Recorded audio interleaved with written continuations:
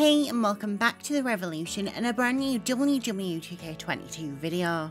Earlier this week, I had the awesome opportunity to play a portion of WWE 2K22 thanks to 2K, which included the recently discussed My GM mod. To be sure you don't miss out on any of our WWE 2K22 content, be sure to hit that bell icon and subscribe to the channel. You can also head on over to our official website www.revelleution.com where you'll find a recap of today's video and so much more. I have to say, I actually had quite an awesome time playing 2K22, probably far more than I originally anticipated, especially in matches playing against SmackTalks, even if he did try and murder me during our Hell in the Cell match. Unfortunately, we weren't able to capture footage at this time, but believe me when I say some things are really worth waiting for, especially when it comes to the visual presentation of certain entrances. As someone who was primarily a simulation player, I was somewhat wary of the controls going into it, but whilst being different, the controls still seem somewhat familiar. This time around, grapples can be performed by using combos as well as by pressing the grapple button, which provide a variety of moves and ways to perform them. Whilst it may be hard to remember all of the combos for specific wrestling moves for certain superstars, it will be perfect for those who have their favourite superstars who will no doubt memorise those moves down to a T. The best comparison I can think of when it comes to memorising moves is that to of Injustice or the Mortal Kombat series, which allows players to perform bigger moves when performing combos. I can honestly see this creating more competitive gameplay between players, something I can certainly attest to after facing off against Paul. Every time you or your opponent perform a move, you are continuously hoping to counteract or reverse by pressing the same action, and I would say I definitely played more defensive in 90% of my matches because of it. Previously, I would just perform moves that look good to try and put on the best visual show, but this time around I was purely trying to win and not let Paul or my opponent deal too much damage before I could get the upper hand. The gameplay and execution of moves this time around is far more fluid and pleasant on the eyes, and with brand new counters and pin combos, I was cheering on even when I was getting my ass handed to me on multiple occasions. Not to mention, there are several new grapple states, including ground grapples, which can be applied as if in a lockup and followed up by a light or heavy attack. During my gameplay window, I competed in several matches including Alexa Bliss vs Carmella, Mandy vs Lacey Evans, and Asuka vs Shayna Baszler, just to name a few. One of my favourite things about WWE 2K22 was how easy it was to perform paybacks, which activate when pressing the back bumper and triangle or Y and perform a variety of actions. From the payback instances I encountered, Asuka performed the Green Mist on Shayna Baszler, which caused a DQ after being caught out by the ref, and Sonya Deville coming out to attack Mandy Rose, which aided in a win. One really cool sequence had Alexa Bliss use the teleport feature like The Undertaker in previous installments, which saw the arena turn dark before Bliss reappeared to capitalise on the moment. Adding the paybacks on top of the reversals, dodging and blocking, and the new combo system truly adds to the competitive nature. I will say, when I originally saw the blocking and dodge feature, it looked somewhat out of place in the original trailer and looked more suited to a boxing or MMA style system. However, after playing it for myself and seeing him performing it in action, I can say not only does it fit well with the current gameplay, but you don't notice the stances anywhere near as much as you would think. When it comes to actually performing blocking and dodges, I will say I much preferred relying on reversals as in previous games, but that could purely be down to muscle memory and being set in my ways when it comes to the playstyle. I know previously many said that they thought the pin bar was far too slow, but having been the one trying to get out of the pin on several occasions, I actually thought it added to the anticipation and threat of having to kick out of a move. When the role is reversed, however, I can see where players are coming from, as it often gives one too many chances to opponents who have taken far more damage than they should have. Moving away from the gameplay to the women more specifically, while I can't delve into some things, I can confirm that I had the chance to play with 21 female superstars, which included Alexa Bliss, Asuka, Bianca Belair, Candice LeRae, Carmella, Chyna, Dakota Kai, Dana Brooke, Io Shirai, Kay Lee Ray, Lacey Evans, Mandy Rose, Maryse, Nikki ASH, Rhea Ripley, Shayna Baszler, Shotzi, Sonya Deville, Stephanie McMahon, Tamina, and Trish Stratus. In my opinion, each and every woman looks so much better this year, with my top 5 models so far being Bianca Belair, Alexa Bliss, Dana Brooke, Shotzi, and Candice LeRae. Trust me when I say I could have easily swapped out so many of the women, and given that I've only had a short time to play, my mind will probably change when I get more time to explore in detail. As many of you have already seen, Bianca Belair looks incredible this year, and I can safely say even some of the screenshots don't do Bianca's model justice. Alexa Bliss not only has an awesome attire, but she looks eerily haunting thanks to her tatty hair and makeup, which fits perfectly with her fiendish persona. It would be wrong of me to say she looks stunning given the intention, but damn does she look good. Dana Brooke looks hands down the best she has ever looked in a WWE 2K video game, and while her attire may not be the most compelling, her model and hair especially look so good.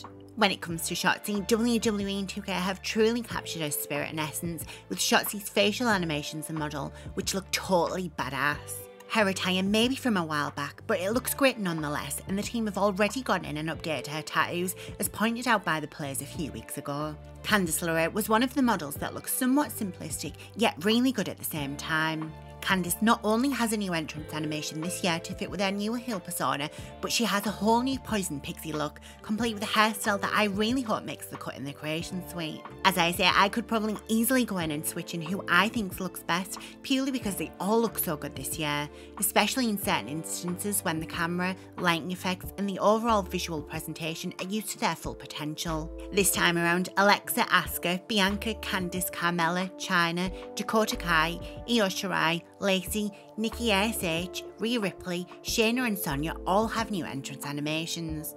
When it comes to my top 5 entrances, I would have to go with Alexa Bliss, Io Shirai, Nikki ASH, Shotzi Blackheart and Lacey Evans.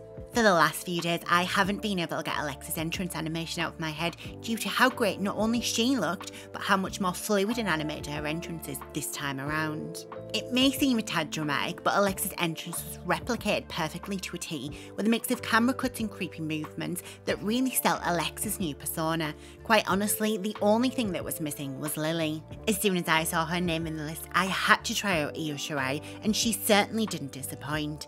Like Alexa's entrance, Io's entrance is more cut perfectly, and the motion really captures Shirai's mannerisms as she makes her way to the ring. Now, this may sound a little bit odd, but one of the things I absolutely loved about Io's entrance is that her hood continuously gets in her way during her entrance due to her rocking her head back and forth in time with her entrance theme, making it seem much more lifelike and realistic. Nikki ASH's entrance was actually the first women's entrance I encountered, and I was completely blown away by the camera angles and the overall visual presentation. This year, the camera replicates camera cuts and angles we see on TV, and I just couldn't get enough of how well they were used during Nikki's entrance and how realistic it looked. The entrance may be what you would expect for Nikki's hero persona, but it just goes to show how great things can look when you have other elements at play. Nikki also came out with a Women's Tag Team Championship, which she shares with former tag team partner Rhea Ripley.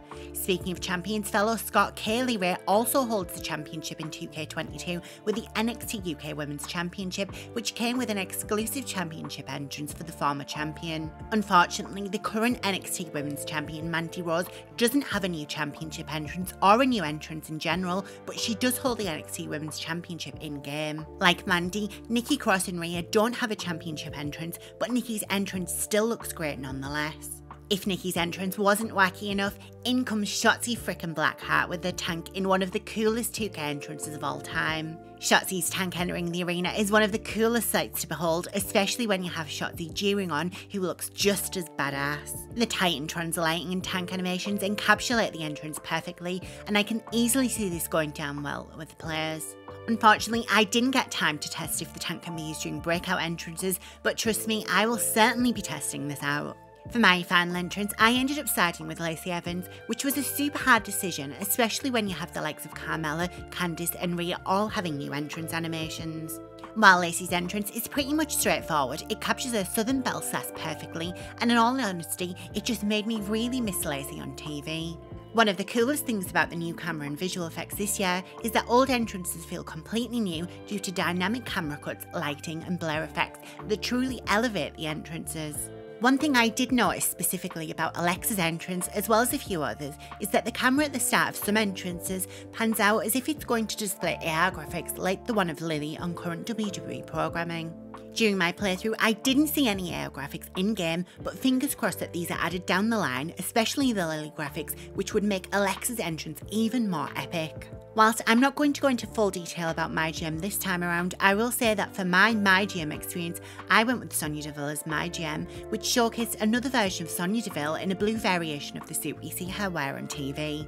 Most importantly, I can confirm you can book purely a female centric show with one women's championship belt that corresponds with the show that you chose, which in my case was Friday Night SmackDown. Although I was excited about booking a women's only show, I was nervous that having only women on the show would affect my ratings and income compared to rival Adam Pearce, who was spearheading NXT with a variety of male and female superstars. Thankfully, I can confirm not only can you purely just focus on the women, but that it doesn't hinder your experience either.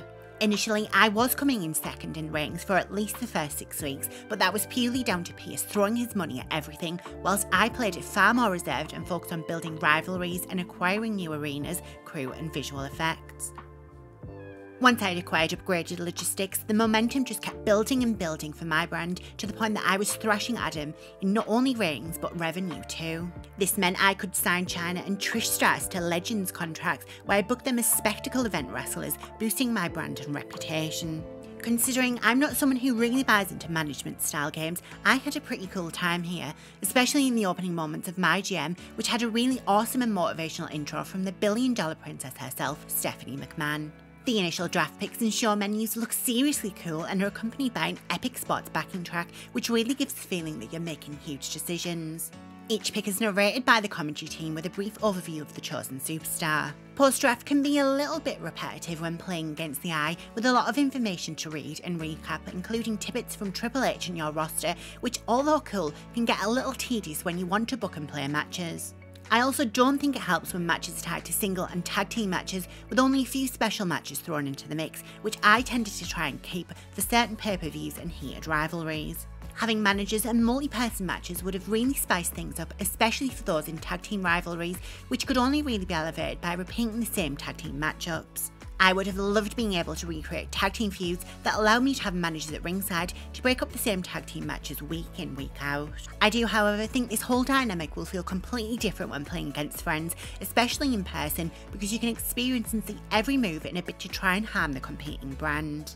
Overall, I did enjoy my GM and I enjoyed it far more than I ever thought I would, but I do think it's more of an appetizer for what's to come in future versions instead of the main course many think it will be. Being able to focus purely on the women is a huge win, and I certainly didn't think the option would be there to do so, so consider me happy. In summary, I had a really great time playing 2K22, and even things I wasn't completely in love with still turned out pretty good, so I would say that we're onto a winner here. It's clear to see the team have put in some serious grafting after 2K20 to create a better game not only visually, but also when it comes to the gameplay. I ended feeling somewhat optimistic and left feeling really excited about the future and eager to get my hands on some more, sooner rather than later. I really hope this is the beginning of something special and I can't wait to see what you hope make of the game when it hits shelves next month. To be sure you don't miss out on any of our WWE 2K22 content, be sure to hit that bell icon and subscribe to the channel. You can also head on over to our official website www.revelleution.com where you'll find a breakdown of all of today's news as well as our upcoming Elimination Chamber coverage. Until next time, I've been The RevELLEution and I hope you're just excited as I am.